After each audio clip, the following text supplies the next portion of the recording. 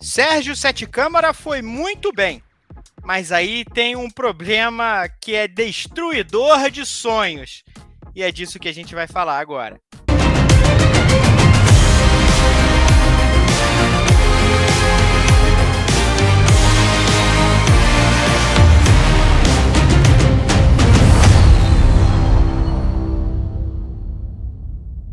Bom dia, boa tarde e boa noite, amigas e amigos do Grande Prêmio. Tudo bom com vocês? Espero que sim. Pedro Henrique Marum aqui. Ao meu lado, você está vendo na tela JP Nascimento.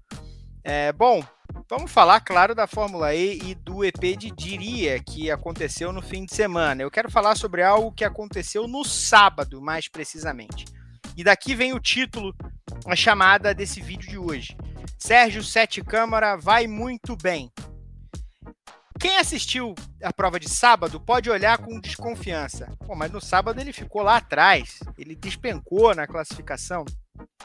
Mas, gente, a verdade é que quando você tem um carro que é ruim, conseguir um resultado muito positivo, o melhor resultado da sua equipe na temporada, vale muito mais, tem um peso muito maior do que um desempenho de fim de, de pelotão que é o normal. A verdade é essa. E o Sérgio Sete Câmara conseguiu brigar pelas primeiras eh, posições na classificação da sexta-feira, ficou na segunda fila para a largada e terminou nos pontos depois de passar a corrida inteira na zona de pontos. É verdade, ele não marcou uma enormidade de pontos, mas com o nono lugar garantiu os primeiros tentos da equipe ERT na temporada. JP, é muito levando em consideração o que a equipe fez até aqui nesse ano. Os desempenhos também do companheiro Dan Tickton. Mas aí, no fim das contas, a gente vê o quanto custa ter um carro ruim, né? A ART destrói sonhos, porque empurra seus dois pilotos mais e mais para baixo a cada momento. É, a verdade é que o desempenho né, do Sérgio Sete Câmara até aqui nessa temporada de 2024, em três corridas disputadas, ele não é, ele não condiz com a posição de, de chegada e com a posição do campeonato do brasileiro. E aqui ninguém está puxando sardinha pro, pro piloto do, do país na, na, Fórmula E, mas a verdade é que ele vem fazendo um bom trabalho sim.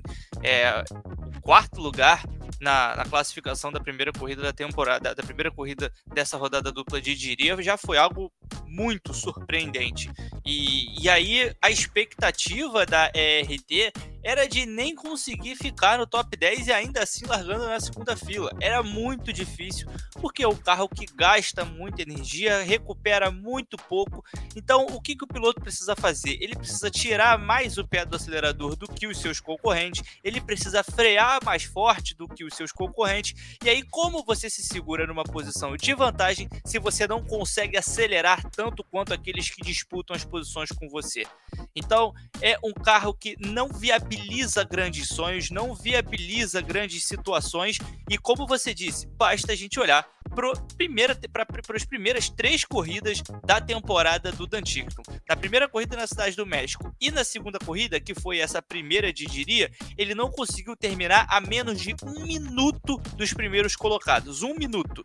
E na terceira corrida, ele abandona antes da largada, abandona na, na antes da primeira volta, porque o carro não freava, o carro não tinha freios.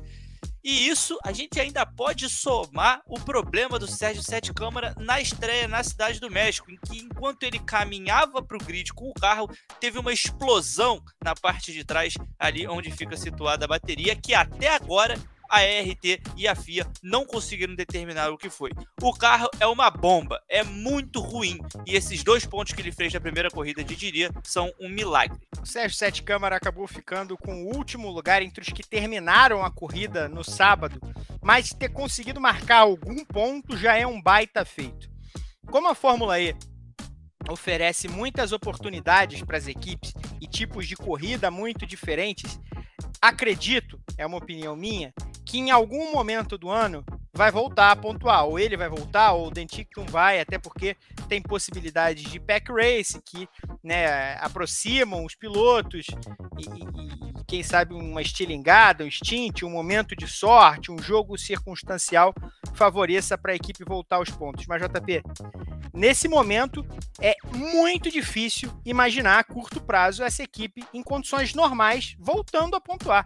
Ou foi realmente a passagem de um cometa o que aconteceu na primeira corrida lá na Arábia Saudita.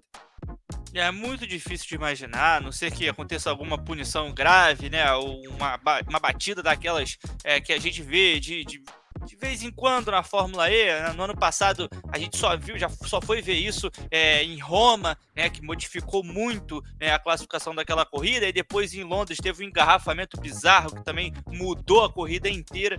Então, só numa circunstância bizarra dessa para imaginar que isso vai acontecer de novo, ou então com um grande desempenho como ele teve na classificação de Diria, largando em quarto, se defendeu a corrida toda, se segurou do jeito que pôde e conseguiu terminar em nono. A verdade é que é muito difícil levar esse carro aos pontos e dois pontos nesse caso são muito importantes, porque a RT não é a única equipe que a gente enxerga uma dificuldade absurda de pontuar na categoria. A Mahindra e a Abt Cupra passam pela mesma situação.